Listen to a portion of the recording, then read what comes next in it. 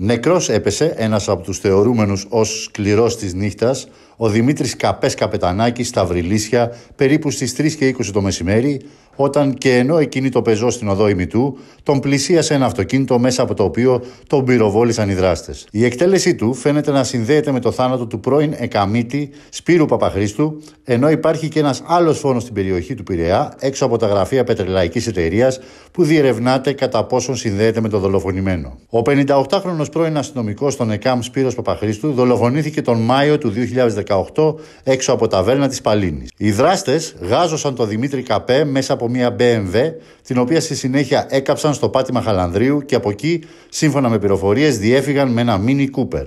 Ο Δημήτρης Καπές συνδεόταν και συνεργαζόταν με γνωστή εταιρεία security της Μικόνου, η οποία επίσης έχει απασχολήσει στο παρελθόν με διάφορες καταστάσεις στις αρχές. Το θύμα ήταν ηλικίας 56 ετών και κάτοικος Βρυλισίων. Σύμφωνα με πληροφορίες, είχε εμπλακεί τη δεκαετία του 90 στο μεγάλο συνδικάτο του εγκλήματος με τις δολοφονίες νονών της νύχτας.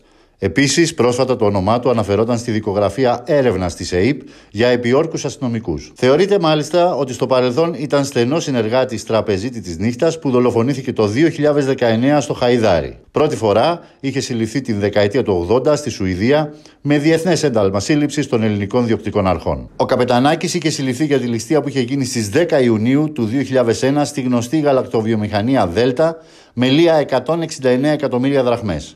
Ο ίδιος, μαζί με άλλα δύο άτομα, κατάφεραν να μπουν στην εταιρεία χωρίς να γίνουν αντιληπτοί και στη συνέχεια, φορώντας κουκούλες, έδεσαν το λογιστή με χειροπέδες σε σώμα καλοριφέρ και από το ανοιχτό χρηματοκιβώτιο πήραν τα χρήματα και κατάφεραν να διαφύγουν.